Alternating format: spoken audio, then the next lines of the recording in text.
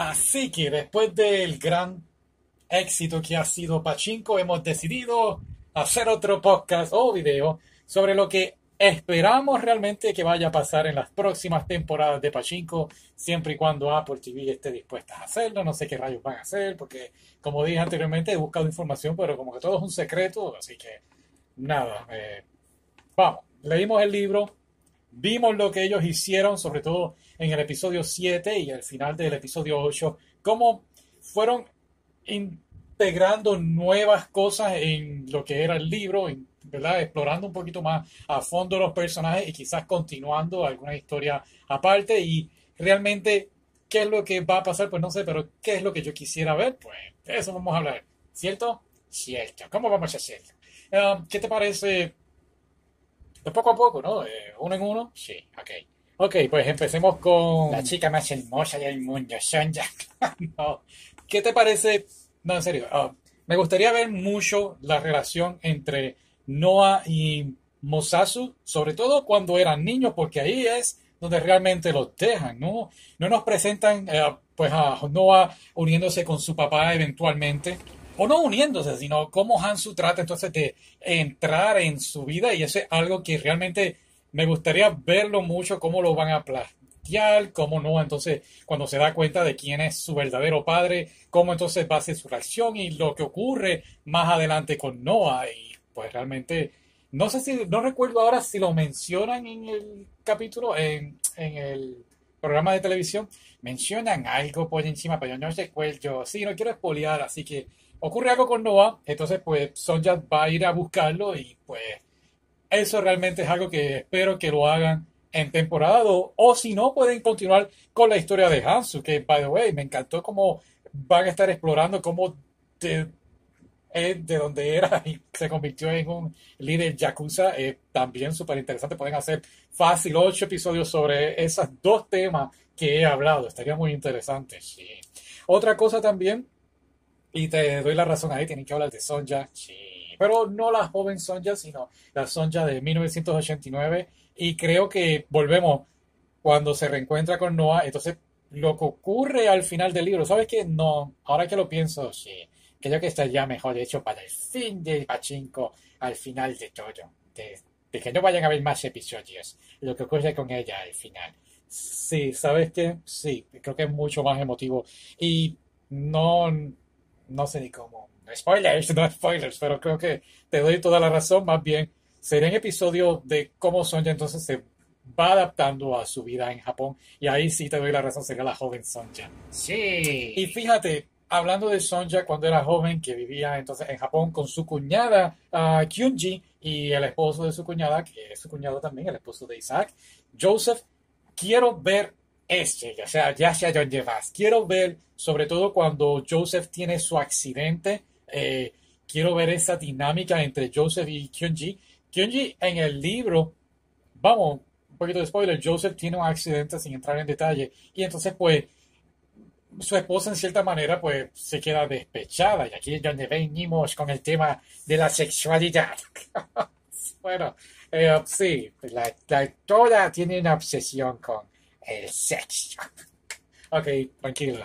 Es que es verdad. Ok, en fin, uh, Kyunji, la cuñada de Sonja, es, pues, en cierta forma, um, ¿cómo es la palabra?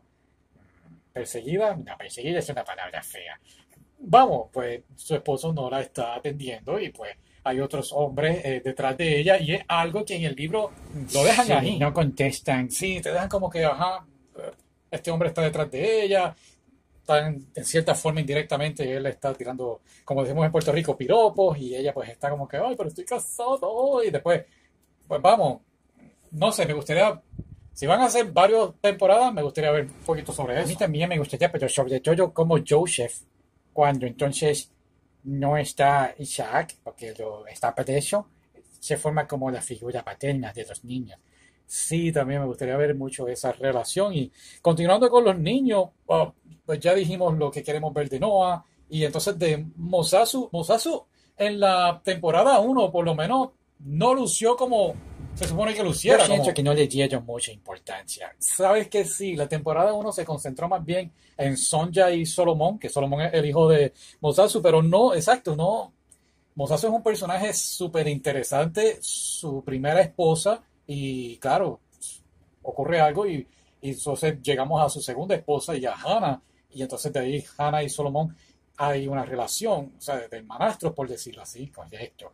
Y realmente volvemos y decimos, como dijimos eh, en nuestro episodio anterior sobre la temporada 1 y el libro, todo se envuelve, es alrededor de, de, Pachinko, de la máquina. Una vez entran en más profundo el libro. Sí, una vez, ¿verdad? Entran en detalle los personajes y se mueven a Japón y pues esta máquina, pues, este negocio es lo que realmente los ayuda a ellos a, a echar para adelante. Um, siguiendo con Musasu, me gustaría ver, ya que en la temporada 1 ya resolvimos, como que dice, el problema de Solomon y Hannah, que para mí fue súper inesperado, no esperaba eso. Uh, me gustaría ver aquí en Solomon lo que ocurre al final del libro con Solomon y en, me gustaría también ver en algún aspecto que tome venganza ante los hombres que, que lo traicionaron en la empresa, que eso es lo que ocurre en la temporada 1.